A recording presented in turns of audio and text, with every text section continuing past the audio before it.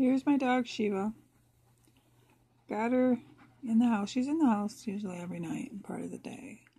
But I want to keep her in the house more, so I'm trying to get her used to the cats. We've had her for like four, the kittens for like, one of them for like five weeks. The other one just a few weeks. So far she hasn't um, done anything. I mean, the kitten even walked up and smacked her on her nose. She didn't do nothing. So there's one up over there on the chair. See the eyes? And um, someday we'll all stand before God. And here she comes out here right there. Just jumping. See how this goes. Well, that's Wishbone. That's a boy. My grandkids were over, so there's still toys out. And then my shoes. I gotta take care of all my shoes. I need to get my walk-in clothes closet organized because it's a mess. And then I have a bunch of toys over there for the grandkids. But anyways, that's Shiva. She's our German Shepherd. She's like year and a half. So let's see if I want to battle too. See, the cat wants to lay right by her, and Shiva don't seem to have a problem with it, but she just don't know what the cat's gonna do. So she's kind of watching.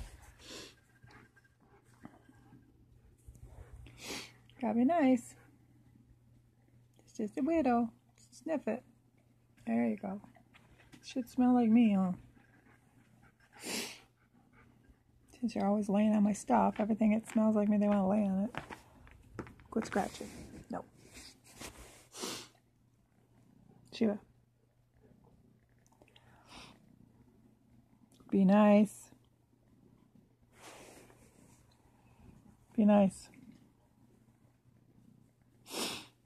There's no growling or hissing or anything going on right now, but you never know. Come here, Shiva, lay down.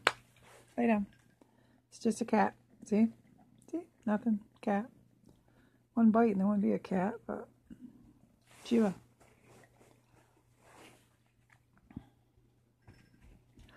Cat tried to slap her.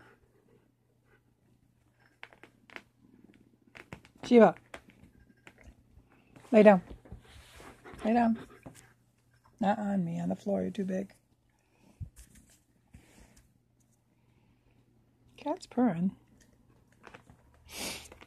Scratching on my chair too. I don't like it. I know we're finally getting a new one pretty soon. Next spring, I think. So, the dogs that right over there, they scratched my chair. Kittens up there, that one's doing pretty good, but this one, on this leather, I don't like this leather stuff.